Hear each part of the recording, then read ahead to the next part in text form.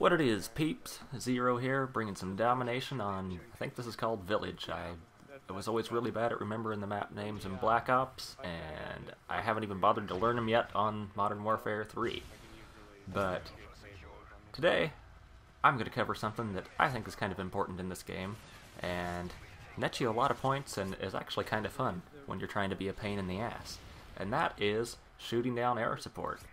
And that's almost a necessity in this game, just because so many people run the support kill streaks, and there's so many different kinds of kill streaks in the assault class that always have air support up. So it's usually a pretty good idea to have at least one or two people on your team with some sort of launcher taking down air support.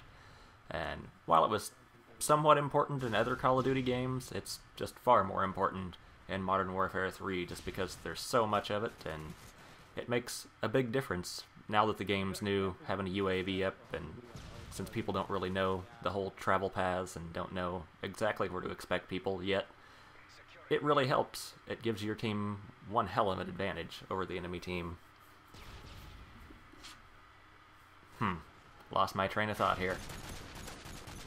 This is one of my favorite maps for playing an assault rifle on here. Has long lines of sight, and you can kind of just stand back and play more defensively in a lot of places here, which every once in a while is a good change of pace, especially if you have a bad connection, which Modern Warfare 3 has a lot of.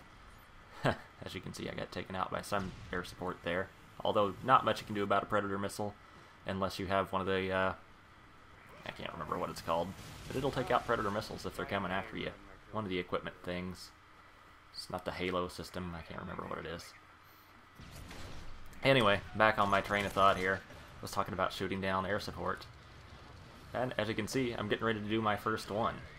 And especially the bigger air support packages on the support streaks, like the Osprey, things like that, very valuable to shoot those down because they can drop a lot of really important care packages on the enemy team and give them a really huge advantage. So if somebody takes that out before it gets dropped, then you're doing your team a big favor. And even if you aren't a team player and you're only concerned about your own score, well, just look at the amounts of points I'm getting for shooting those down.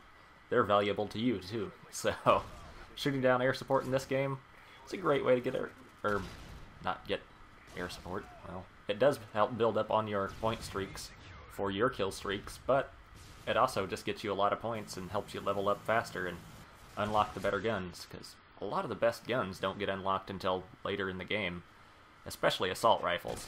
But if you want to play submachine guns, you can have some decent ones off the first, which I typically play submachine guns in Modern Warfare 3. All the maps just seem to be more geared toward close range encounters, and assault rifles just don't really cut it when you're shooting from the hip and sprinting around corners and things like that. So, typically, submachine gun, for me at least, is the way to go. I'd like to play shotguns, but the shotguns are still kind of useless. They said that they've patched them and kind of got them going, but I still haven't got much benefit from that, and that's usually because I'm playing on a pretty weak connection, and anything that is single shot, even on a weak connection, you're, or even burst fire like the Type 95, you're pretty much screwed unless you have a great, like, 4 bar. And I don't have that all that often. In fact, last night I had a two bar for quite a while, so I just resorted to playing Riot Shield and trying to bash people down with that. And even on a two bar, you'll sneak up behind somebody that's just standing there and bash them in the back, and you won't even get a hit marker while they're standing there not doing anything. so hopefully they iron out some of the connection issues a little bit more. Overall, though, I'm starting to enjoy the game a whole lot more than I was in the beginning. I'm starting to learn the maps a lot better starting to learn where to expect people and some of the travel routes and where they might be coming toward me from. And once you know that, it makes the game a whole lot more enjoyable. There's still a whole lot of just complete bullshit deaths that I have from putting a whole bunch of bullets in somebody and then falling over dead when they're not even looking at me. But I'm preventing that more and more just by knowing where they're going to be coming from, even though sometimes it still doesn't save you. But it gets a little bit better. a few other things are still kind of bad. The knife lunge is still a little bit overpowered. And there's that. Quick scoping is still back in the game. There was one game I had, I don't know how many times I got no scoped and quick scoped, just I don't know how many times in a row it happened. It was just ridiculous. The sniper rifles are just bullshit in this game. I think Black Ops had it right when they first started, and the sniper rifles were all but useless unless you took your time and aimed down sights and played it like a sniper rifle rather than running around just throwing it up, pulling off shots left and right. Because if they wanted to make it realistic, sniper rifle would be as heavy and slow you down as much as the light machine guns, if not more, and probably be even slower aiming down sights. But they had to screw it up because too many people were bitching and they wanted their quick scoping. But you can't please everyone, so they please the most vocal majority, I guess. I'd say there's probably more people that hate quick scoping that like it. They just don't sit around and complain about it as much when it's not in the game. And here I'm going after air support again. I'm just taking it down right and left in this game and netting me a whole bunch of points. And really helping out the team quite a bit. Because if they had that air support up, we'd be dying a whole lot more, and they'd know where we were at. Oh, there's that helicopter. I think this is my fourth piece of air support this game that I've taken down, or that I am taking down here. And I'm... No, no, it didn't go. For some reason it missed, so I'm still just shooting at it. Because I'm in a position between the flags here, I can try to cover them when people are taking them. But that's really my point for the whole video is take down as much air support as you can because it really helps your team out in a game where there's so much of it. And as far as Modern Warfare 3 goes, yeah, it's playable now.